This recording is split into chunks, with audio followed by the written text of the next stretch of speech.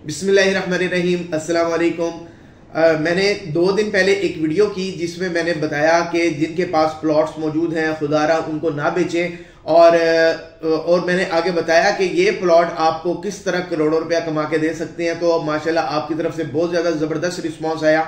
आज मैं आपको लाहौर के हवाले से कुछ चीज़ें बताने जा रहा हूँ कि कहाँ पे आने वाले छः महीने में प्रॉपर्टी के अंदर बहुत ज़्यादा जंप लगने वाले हैं। और अल्टीमेटली मैं बात करूँगा जो कंस्ट्रक्टेड प्रॉपर्टी है उनके हवाले से। बेशक आप प्लॉट लें, लेकिन ऊपर कंस्ट्रक्शन की तरफ़ जाएँ।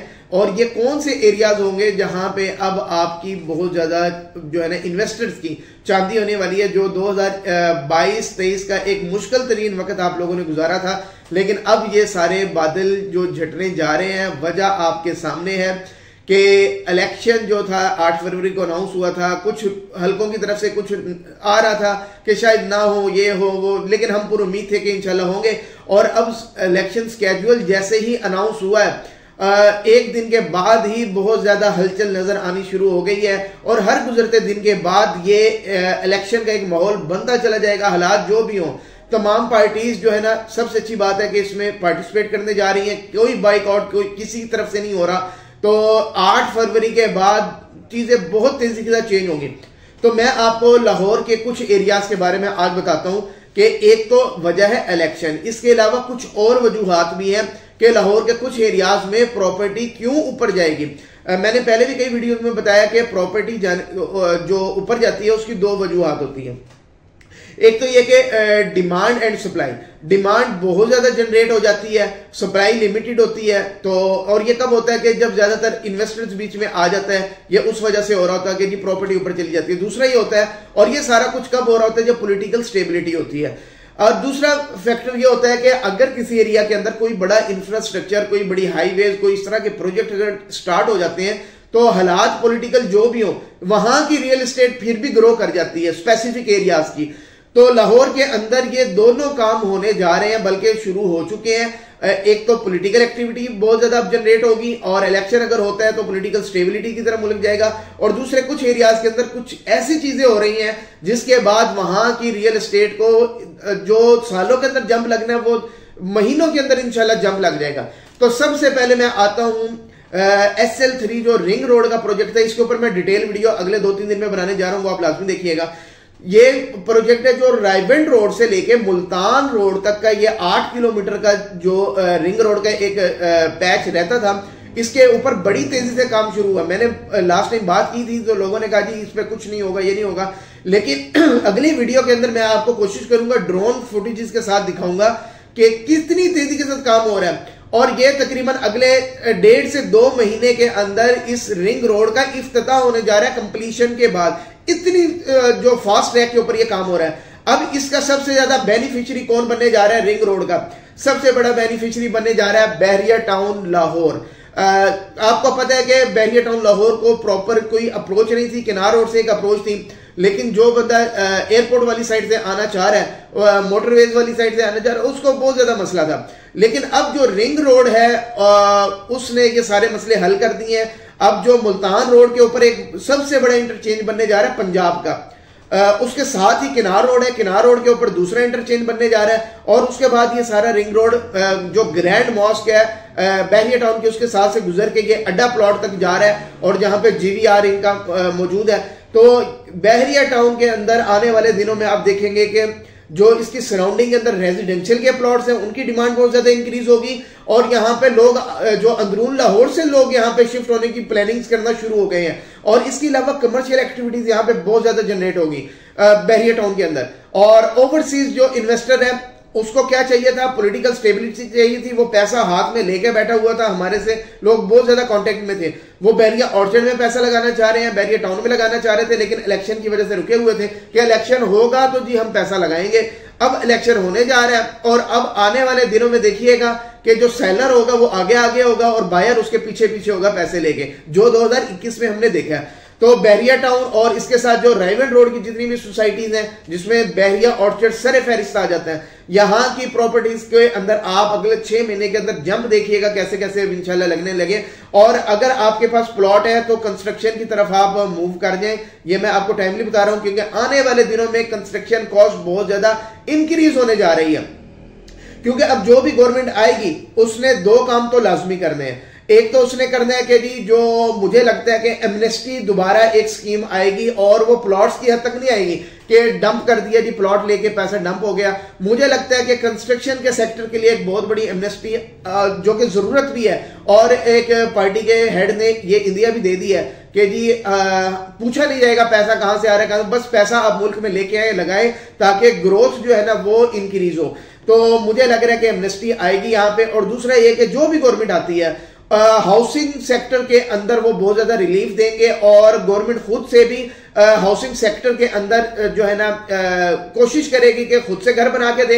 या जो बैंकिंग सेक्टर है ना, वो आसान जो सूदी जो कर्जे हैं मैं इसको प्रमोट नहीं कर रहा, मैं लेकिन बता रहा हूँ कि स्ट्रेटेजी हो सकती है।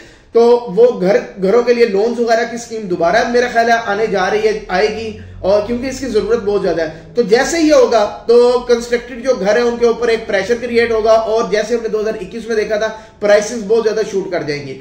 अच्छा दूसरा एरिया जो है, वो इस वक्त जो शरकपुर रोड वाली साइड का दरह रावी से उस साइड पे जो बनता है वहाँ पे आपको पता है कि एक तो जो शादरा वाला जो ब्रिज का मसला था वो हल हो चुका है वहाँ पे वो ब्रिज वगैरह बन चुके हैं।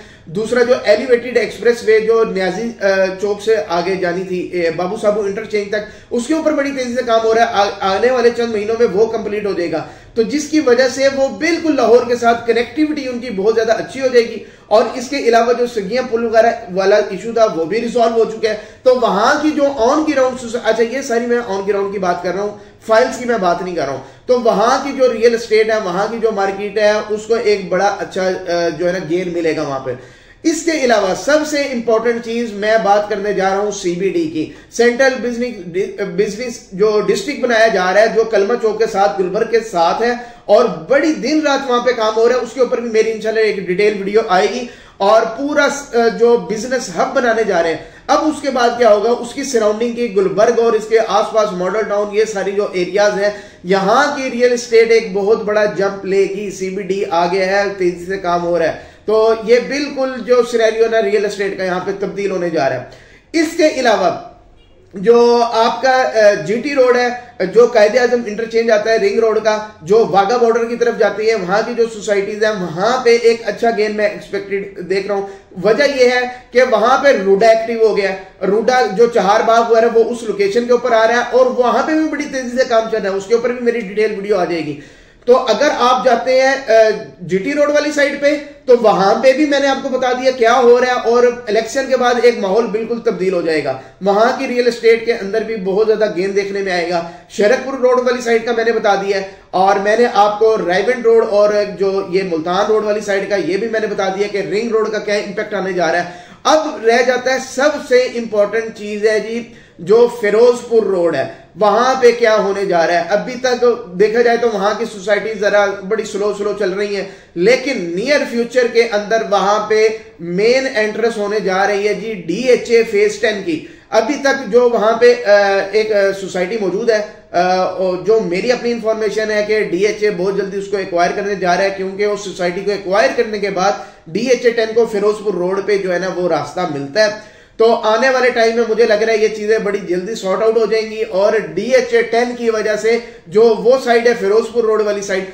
उसके अंदर एक बहुत बड़ा आने वाले ये चंद महीनों के टाइम है, कोई लंबे सालों की बात नहीं कर रहा तो एक अच्छा गेन एक्सपेक्टेड है। तो अगर आपने ऑलरेडी प्लॉट लिए हुए तो वेल एंड गुड नहीं लिए तो अभी आप प्लॉट्स वगैरह एक्वायर कर लें। पर्पज ये रखना है कि आपने जो है इसकी कंस्ट्रक्शन करनी है। कंस्ट्रक्शन का मैं क्यों कह रहा हूँ आपको? वो इसलिए कह रहा हूँ कि मेरी पिछली वीडियो आप देखें, उसके अंदर मैंने पूरा आपको एनालिसिस करके दिया है लाहौर के हिसाब से, जो रेंटल की डिमांड बढ़ती जा रही है। और ये बड़ी खतरनाक हद तक जो रेंट है ना, इसकी वैल्यू इंक्रीज होती जा रही है। आने वाले दिनों में आपको, मैंने बताया कि अगले पाँच साल में कुछ एरियाज़ जहाँ पे अभी साठ हज़ार रुपए रेंट चल रहा है, वो नब्बे हज़ार रुपए पे पहुँच जाएँगे बड़े आराम के साथ। इस वक्त मैं बैरिया टाउन की अगर बात करूँ तो अस्सी से पचासी हज़ार रुपए पाँच मरले का रेंट तो इधर चल रहा है, दस मरले यहाँ पे नए घर का तकरीबन डेढ़ लाख रुपए डिमांड कर रहे हैं। तो आने वाले तीन से पाँच साल के अंदर मुझे बहुत एक बहरानी कैफियत नज़र आ रही है, जो रेंटल के घर है। लोग रेंटल के लिए पैसे लेके खड़े होंगे, लेकिन घर खाली नहीं होंगे। क्यों? कंस्ट्रक्टेड घर ही बहुत लिमिटेड है। हर साल चार लाख चार लाख अठहत्तर हज़ार घरों की डिमांड बढ़ती जा रही है सिर्फ़ लाहौर में। अब ज़ाहिर हर कोई अपना घर तो बना नहीं सकेगा तो उसने रेंटल पे जाना है। अब आपने अगर पाँच मरले का घर बनाया डबल पोर्शन आपका रेंट पे जाएगा, बड़ी कोई फैमिली आती है, आठ मरले का तो आप डबल पोर्शन उसको बड़े अच्छे रेंट पे करोगे, इसी तरह दस मरले हैं, अगर छोटी फैमिली के लिए तीन मरले हैं तो ये सारी चीज़ें जो होने जा रही हैं और आप आज अच्छा ये सारी वीडियोस मैं किसके लिए बना रहा हूँ? ये उन लोगों के लिए नहीं बना रहा है जो फ़ाइल में इन्वेस्ट करते हैं या जो हर वक्त नेगेटिविटी या ये रोना धोना करते हैं, हम तो गरीब लोग हैं, खाने को रोटी नहीं है तो कौन रियल एस्टेट में इतने महँगे पैसे डाले, ये करे? ये उन लोगों के लिए वीडियो नहीं है। ये उनके लिए वीडियो है जो, जिनके पास इस वक्त पैसा मौजूद है और मुझे पता है कि पाकिस्तानियों के पास पैसा हाथ में रख बैठे हैं ओवरसीज अपने पैसे हाथ में, सिर्फ़ उनको पोलिटिकल स्टेबिलिटी चाहिए थी और थोड़ा सा उनको चाहिए था कि जी थोड़ा सा मार्केट चल पड़े। जैसे ये मार्केट चलेगी आपने स्टॉक मार्केट में देख लिया अट्ठतीस हज़ार से उठी है। तकरीबन सिक्सटी सिक्स थाउज़ेंड पर चली गई है। शुरू के आठ दस हज़ार उसने अपनी पेस पे गेन किए, लेकिन उसके बाद एक हवा चल गई है और लोगों ने उसके अंदर पैसा फेंकना शुरू किया। क्यों? लोगों के पास पैसा था, लोग पैसा लेके बैठे हुए थे इन्वेस्टर पैसा लेके बैठे हुए थे। और यही रियल एस्टेट के अंदर आप देखोगे, अगले चंद माह में जैसे ही थोड़ा सा एक साइकिल शुरू होने और उसके बाद देखा देखी यहाँ पे जो भीड़ चाल चलती है, वो शुरू हो जानी है और वही हाल होने जो 2021 में हुआ था। और ये मैं आज नहीं कह रहा, प्रीवियस वीडियो से आपको कह रहा हूँ। तो अगर आपके पास पैसा है आज ही आप रियल एस्टेट के अंदर आ जाए और मैं ये नहीं कह रहा कि प्लॉटों के अंदर डंप करें, जिसका मुल्क को कोई फ़ायदा नहीं है, आपको भी कोई फ़ायदा नहीं होता। कोई रेंटल इनकम जनरेट नहीं होती, कोई लिक्विडिटी उसकी इस तरह नहीं है। लेकिन उसको कन्वर्ट करें एक प्रोडक्ट के। अगर आपका बेचना है, तब भी आपके लिए वेल एंड गुड नहीं बेचना है तो रेंटल इनकम आपकी लाहौर के अंदर कमर्शियल के बराबर होने जा रही है, आगे नियर फ्यूचर के अंदर। तो ये सारा कुछ जो है ना मैंने आपके साथ शेयर करता था। डिटेल वीडियोस रिंग रोड की रूडा की और इंशाल्लाह जो सीबीडी है, उसकी इंशाल्लाह बहुत जल्दी आ जाएगी। और रेंटल इनकम के हवाले से मेरी प्रीवियस वीडियो वो आप, लाजमी देखें। Thank you very much